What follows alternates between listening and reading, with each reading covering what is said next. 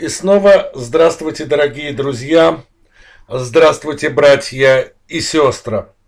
В данном видео мы с вами продолжим говорить об армянских лоббистах на территории России, а также о представителях из самого армянства, действующих только исходя из интересов Армении, хотя эти условные личности являются гражданами России. О ком пойдет речь? Ну, как вы понимаете, в связи с наступающими выборами в России мы в неочередной раз затронем в данном видео такую, в кавычках, личность, как Затулина. Нет, о Жириновском мы говорить не будем – мы с вами также поговорим о Пегове. Мы с вами затронем в данном видео такую личность, как антитопор. То есть мы затронем всех тех, которые очень часто являются раздражителями. А раздражителями не из-за того, что они говорят какую-то правду, особое мнение, а из-за той массовой лжи, которую они умудряются вложить даже в несколько минут своих умозаключений, высказанных умозаключений. Ну что ж, давайте с вами приступим. Давайте приступим. Потеря великой страны, заказная кампания против Затулина. Продолжение. Да, армянство в панике, армянство паникует, так как очень может быть, что Затулин впервые за долгое время не пройдет в Думу, а кто знает, может быть и окажется на нарах потому что стали всплывать в российских же СМИ многочисленные факты касательно многочисленных же жилищных площадей, вилл, квартир, принадлежащих Затулину и его семейке на территорию, кстати, в основном не в Сочи, а в Москве. Интересно, так, к слову. И вот те статьи, которые стали последнее время адресовываться Затулину, видимо, сильно наступают ему на мозоль, если вдруг так активизировались его заступники. Ведь он никогда не обращался к армянству за заступничеством. И вдруг такая реакция. В частности, за него то бишь за Затулина стали заступаться не, не кто-нибудь, а спутник, телеканал, принадлежащий Маргарите Симонян, и YouTube-канал «Молния». Интересно. Давайте с вами послушаем небольшой фрагмент из данного видео. В дальнейшем я объясню, почему это очень важно. Приступаем. Приступаем.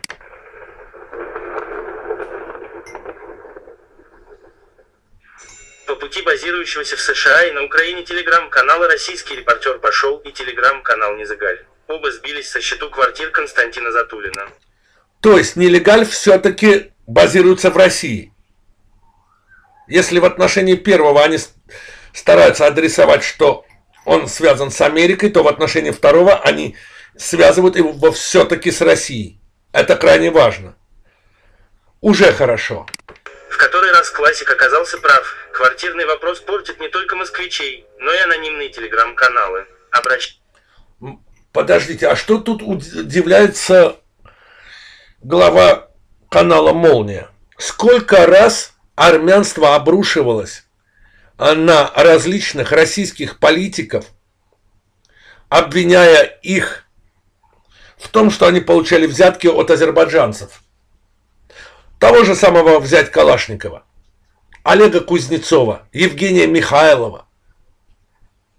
А ведь тоже доказательства приведены не были. Не так ли? А вот в отношении Затулина, а, ну, ребята, ну не просто так он четырежды аж проходил парламент. Что-то мне не верится в то, что это происходило без определенных коррупционных схем. Не так ли? Но давайте продолжим. Обращаем их внимание на то, что Затулин из года в год публикует свои налоговые декларации. Если... Так, о декларациях. О декларациях. Значит, Молния ТВ делает вид, что не понимает, как легко люди прячут свою жилплощадь. Они не знают, как пишут на алкоголиков, наркоманов и так далее.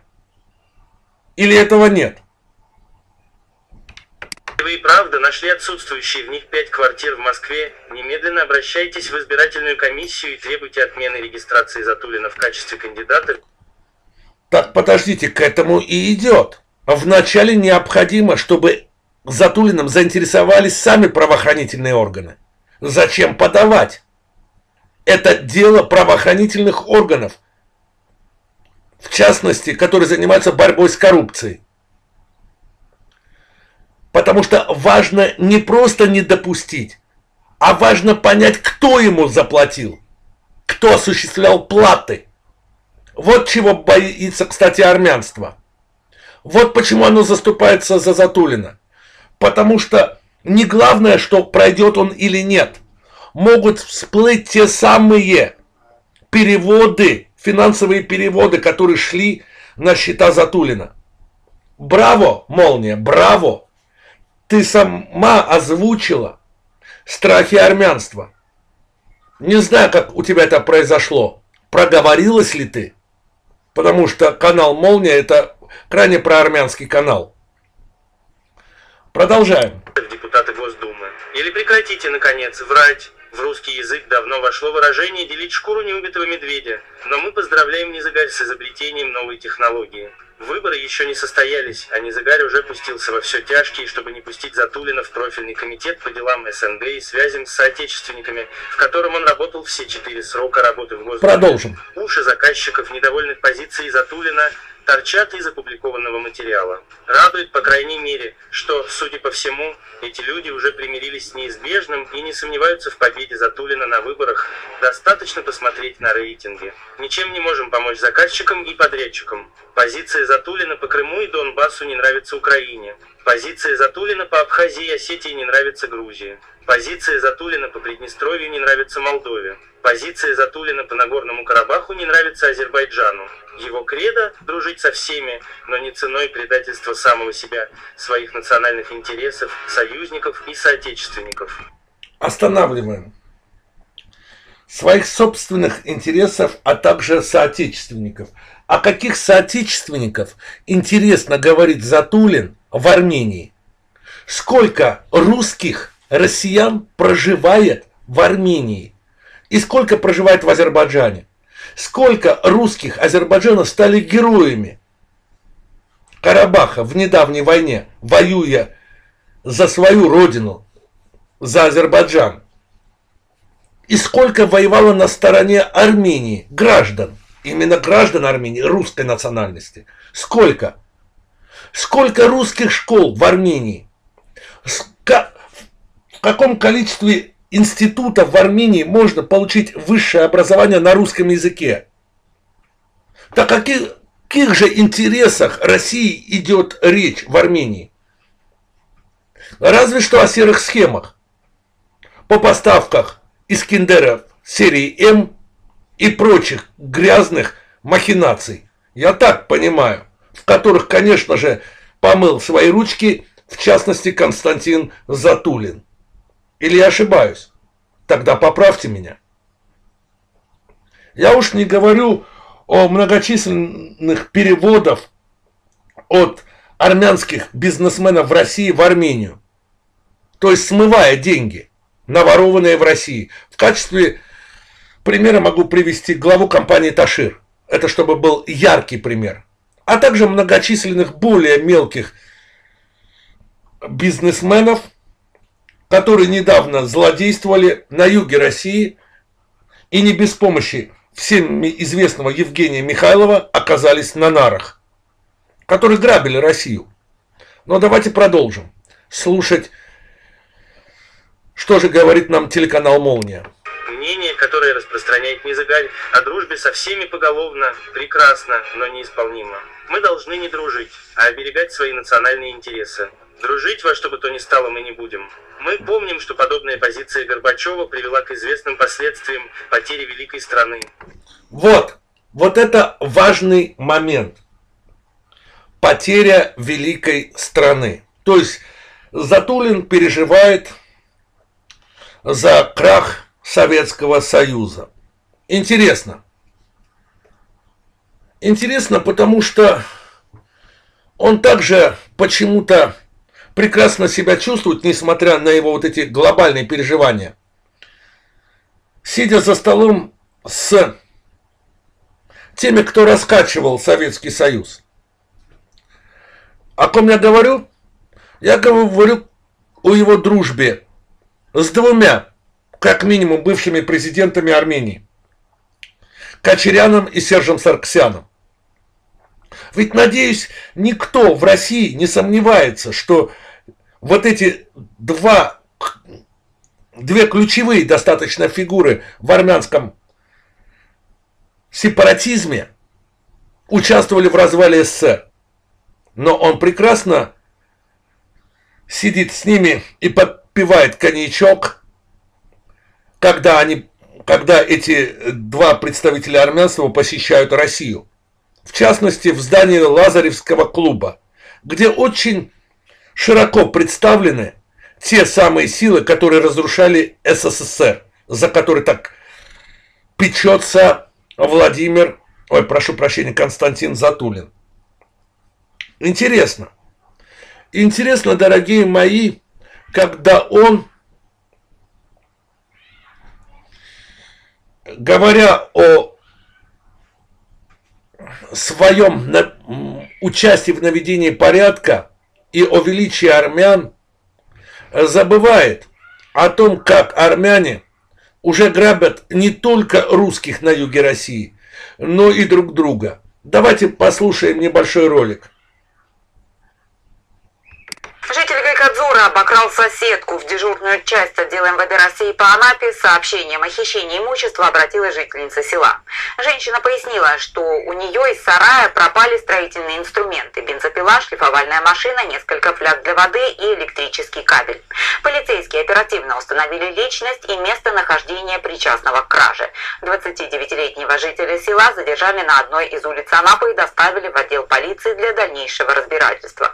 Похищенная за исключением исключением бензопилы, подозреваемый продал, а деньги потратил. Бензопилу удалось вернуть законной владелице. Давайте остановимся. Вроде бы мелочи, но данное событие вписывается в многочисленные факты армянского беспредела в России, творимого не только над русскими, но и над такими же армянами.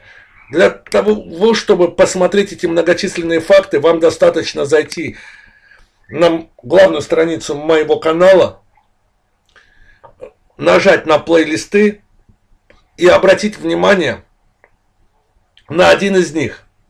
Это армянский беспредел в России и по всему миру. Вот он, 123 факта. Большинство из них именно по России. Но не будем останавливаться на этом, вы дорогие мои. А пойдемте еще чуть дальше. Знаете, когда смотришь о многочисленных, ужасающих свидетельствах касательно проблем россиян на юге России, это и ужаса...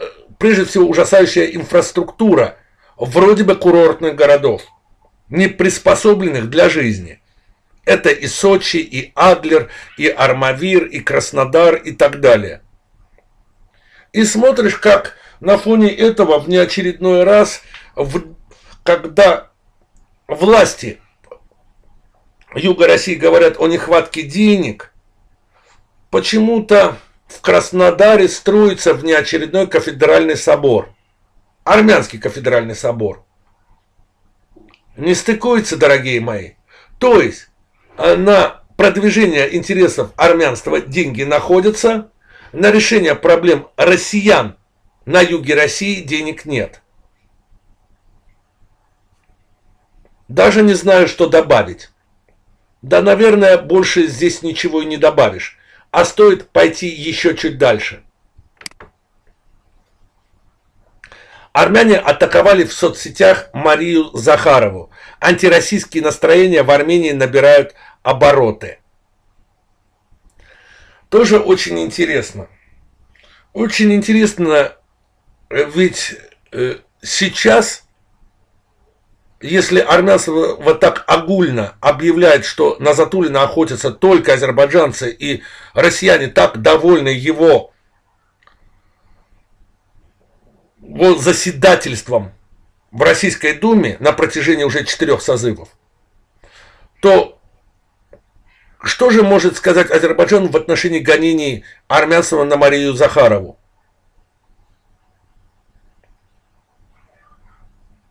Это вопрос к армянам. Вопрос интересный, интригующий, не так ли? Но меня волнует даже не это. Среди армянства вдруг внезапно вспомнили про Галину Старовойтову. Вспомнила тоже легендарная, в кавычках, проармянская личность Светлана Кульчицкая. Обратите внимание, как мало лайков по данным видео. Большинство не хотят ее смотреть.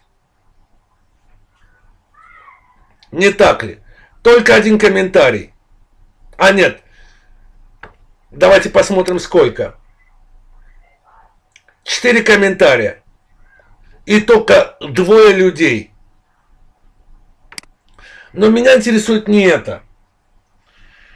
Меня интересует другое. Мне бы хотелось по неволе в связи с воспоминаниями о Галине Старовойтовой задать вопрос Затулину. Как он относится к таким личностям, как Галина Старовойтова? Зори Балаян и прочие. Хотя, если он сидит за столом с Кочеряном, ответ, наверное, для этого не надо быть каким-то особым предсказамусом. Он просто рукоплещет Галине Старовойтовой. И по его мужскому лицу течет одинокая, но гордая слеза. Не так ли? Эгоизм? Возможно. Но с такими только так. Мы же с вами продолжим. Да, дорогие друзья, сейчас мы с вами переходим к, к речи о, о Варгонзе, о Пегове. Есть такой журналист – о котором и хотелось бы поговорить. Журналист в кавычках. На самом деле банальная куча вымыслов и лжи, которая, видимо, и создало тело под названием Пегов. То есть это вот эта ложь, лицемерие, сказки, они, в общем-то, можно сказать, вышили душу, мозг, тело Пегова. Потому что это сплошная ложь, данная в кавычках личность. И сейчас я ознакомлю вас с неочередным фактом, когда ложь Пегова была взломана. Давайте послушаем. настало время просить прощения, и извиняться Еще в прошлый раз я, ссылаясь на канал Варгонза, сказал, что какое-то количество афганских беженцев, типа якобы Азербайджан, собирается разместить на территории Нагорного Карабаха, которую Азербайджан недавно себе приобрел. И я сказал, что это очень странная новость, что такое маловероятное, что если они даже кого-то возьмут, это будет очень мало людей, потому что азербайджанцы не нужны афганские беженцы. Это не та страна, которая обожает принимать у себя беженцев. И, в общем-то, в этом я угадал, а потом оказалось, что какие-то ребята Варгонза просто тупо развели, потому что они сняли в аэропорту в Америке то ли в Нью-Йорке, то ли в Вашингтоне, сняли толпу афганцев и выдали это за аэропорт в Баку. И Баргонза на эту хуйню купился, этот фейк распространил, и, собственно, все над ним смеются, потому что оказалось, что это источник, которому нельзя доверять. Он говорит, что типа якобы у него есть какие-то свои источники, а на самом деле он покупается на любую хуйню. Так что в этом месте азербайджанцы Варгонза развели как ребенка. Давайте остановимся. Это так. Мелкий штрих вот к описанию того, что связано с армянскими лоббистами в России. Знаете, сейчас мы с вами перейдемте к еще одной в кавычках личности. В данном случае мы с вами переходим к разговору именно уже о представителях арм... армянского лоббизма из самого армянства на территории России. В частности, речь пойдет о антитопоре. Давайте послушаем небольшой отрывок.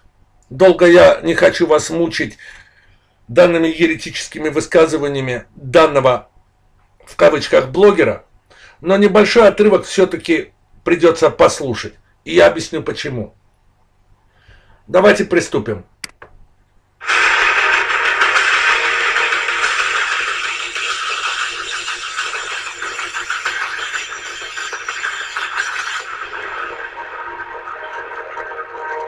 Антитопор. Угу.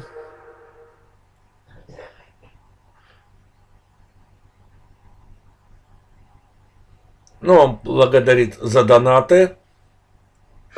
Меня здорово развеселили азербайджанские СМИ, которые давно стали притчей во языцах. Пишут... А вас э, антитопор не смешил Пегов? И не смешили армянские генералы не так давно, во время 44-дневной войны? Вас не смешит, когда многие армянские патриоты кричат о том, что вооруженные силы Армении готовы отстоять, готовы завоевать и дойти до Баку. По сей момент это все еще слышится. При том, что в 44-дневной войне, здесь я вынужден вспомнить слова Романа Багдасаряна, а также можно увидеть многочисленные видео и фото свидетельства этому, как арм дюжа армянские вояки, сверкая пятками, бежали из Карабаха. В частности, Роман Багдасарян говорил о том, что часть вооруженных сил Армении и Карабаха переодевались в женские одежды. Кстати, здесь я вспоминаю Зоря Балаяна. В 92 году он тоже пытался бежать из Ханхенды, переодевшись в женщину. Не получилось. И, наверное, Антитопор об этом наслышан. Это первое. Второе. Есть многочисленные видеосвидетельства того, как армянских солдат, армянские же генералы приковывали к окопам, а также к военной технике, чтобы те не сбежали. Героизм. Ну а теперь продолжим. В чем же он захочет теперь укусить вооруженные силы Азербайджана? Послушаем.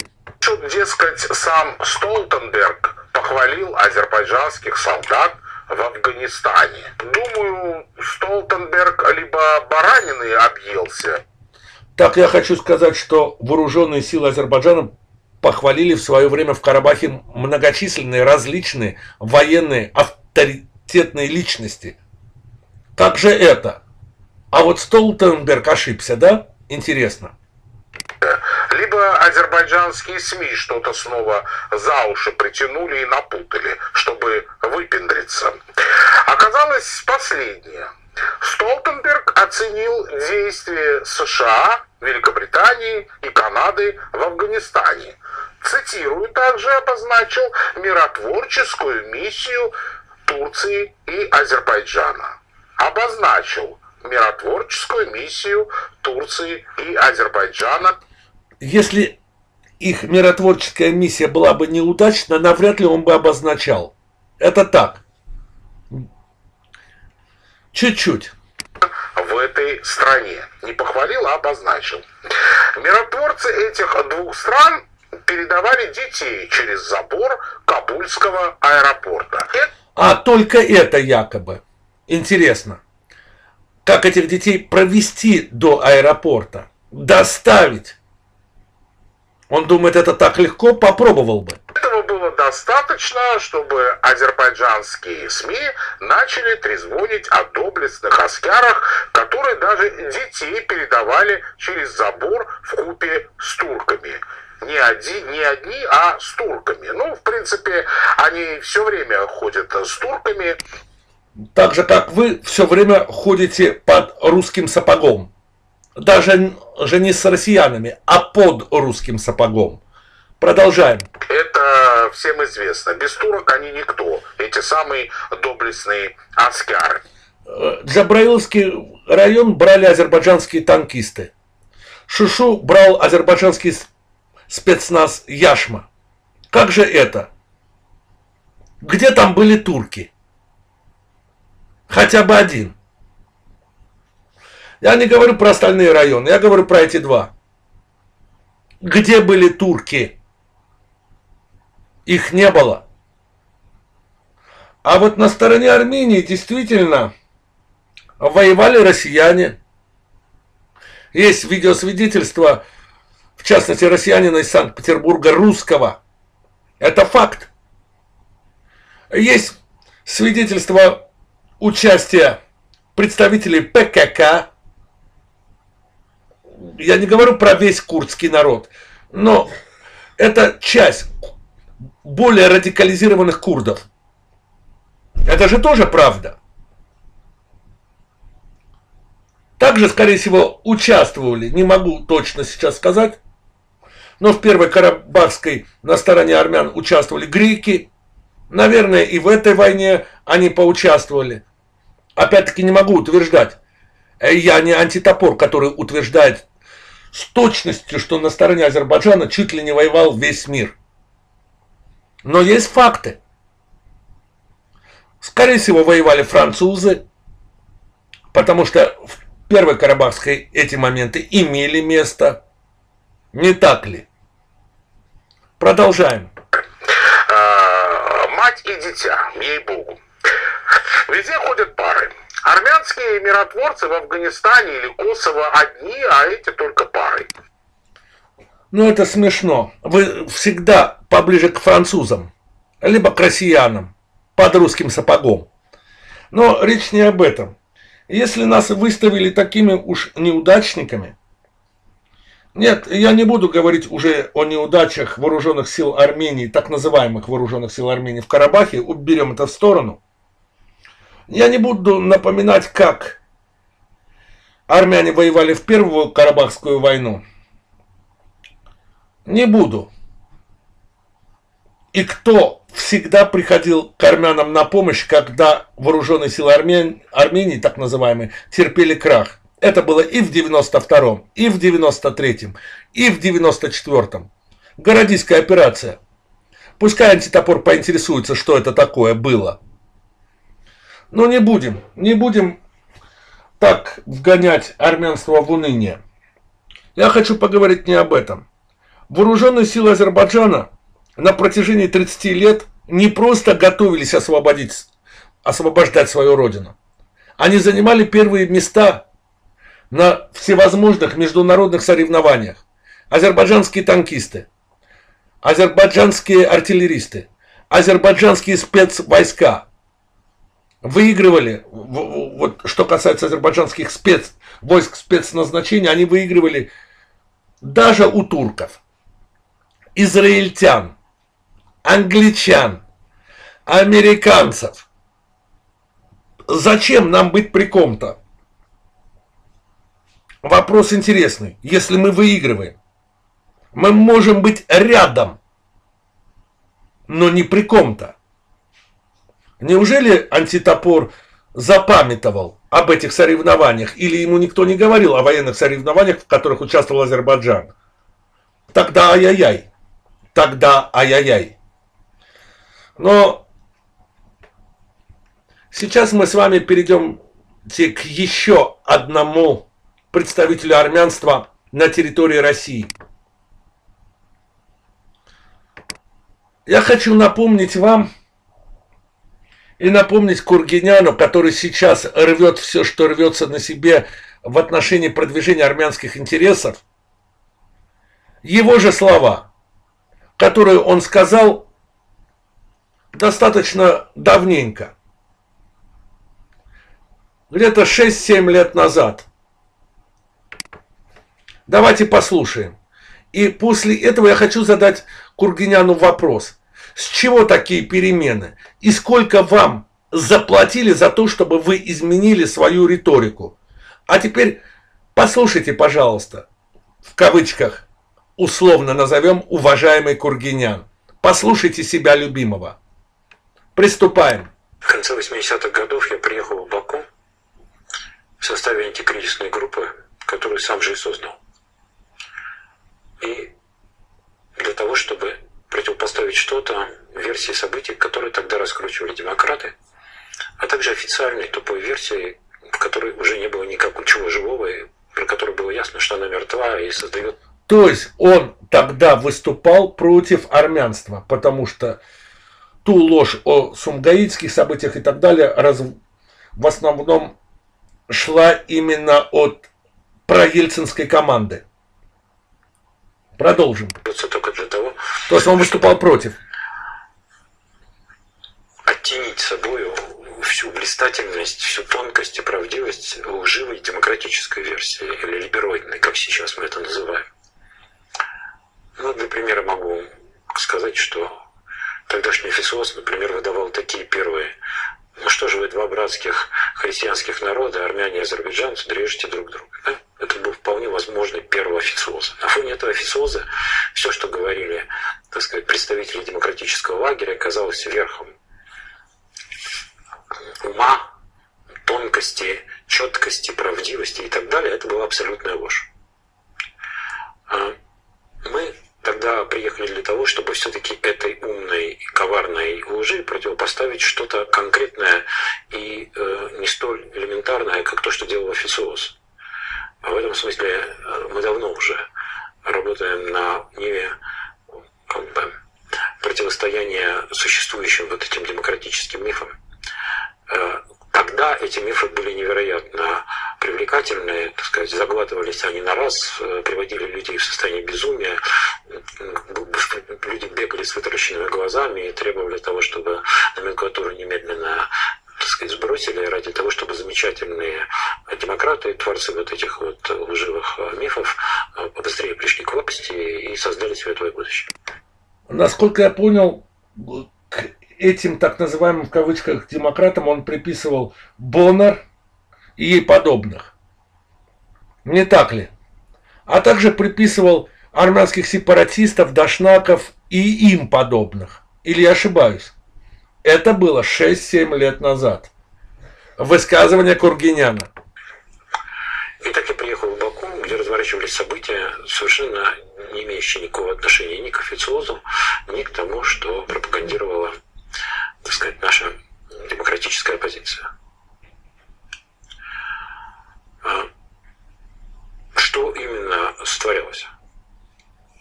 Ну, к примеру, могу вам со всей ответственностью сказать, что когда там зверски убивали, сказать, э, предположим, армян в начале в Сунгаите и, так сказать, издеваясь над ними, осуществляли некие ритуальные действия, то делали это не азербайджанцы, а делали это вообще люди со стороны.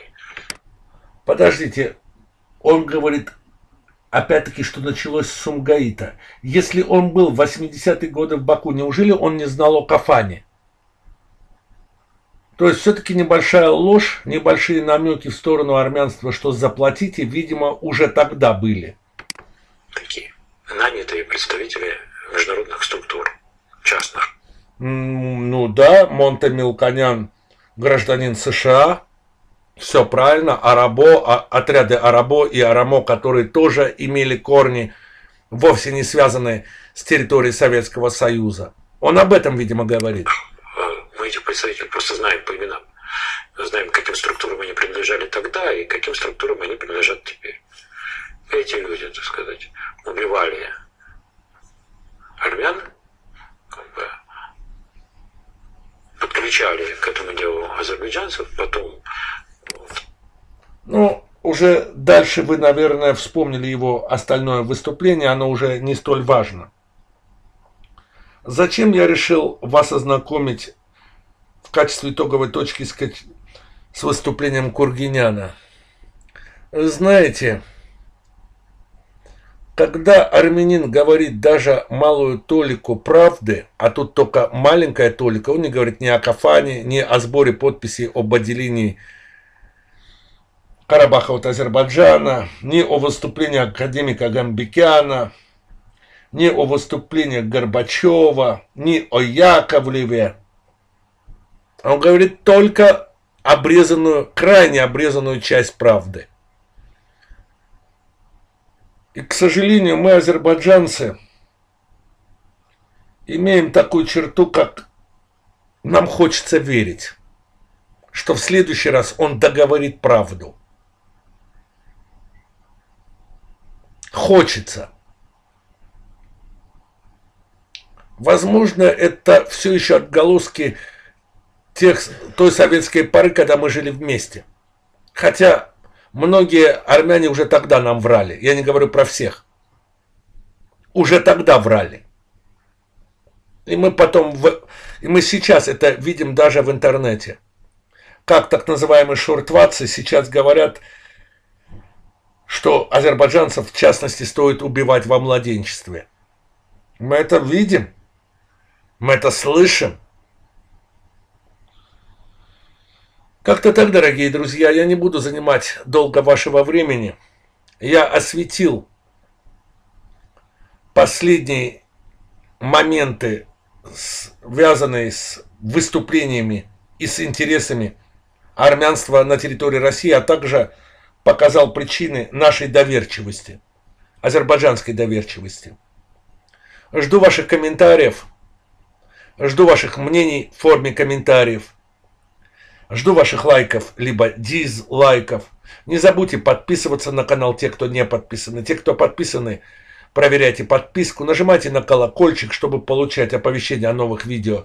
Делитесь ссылками на мои видео в соцсетях, приглашайте друзей и знакомых. Ну, а я, я буду стараться делать свои видео более интересными для вас. На этом все, дорогие друзья. Я с вами прощаюсь. Сегодня я постараюсь записать еще одно видео, но не гарантирую. Всем до свидания, всем пока, всегда ваш Сиидов Кямран. До свидания. До свидания, дорогие мои. До свидания.